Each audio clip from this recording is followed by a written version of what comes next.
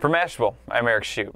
Fingers, apparently they're overrated. While we take our grippers for granted, engineers at the University of Chicago and Cornell University have created a robotic arm that improves on our five digits. In this Cornell video, the bot demonstrates its fingerless jamming gripper, which uses positive pressure to pick up just about anything. That's three consecutive bullseyes on a dartboard.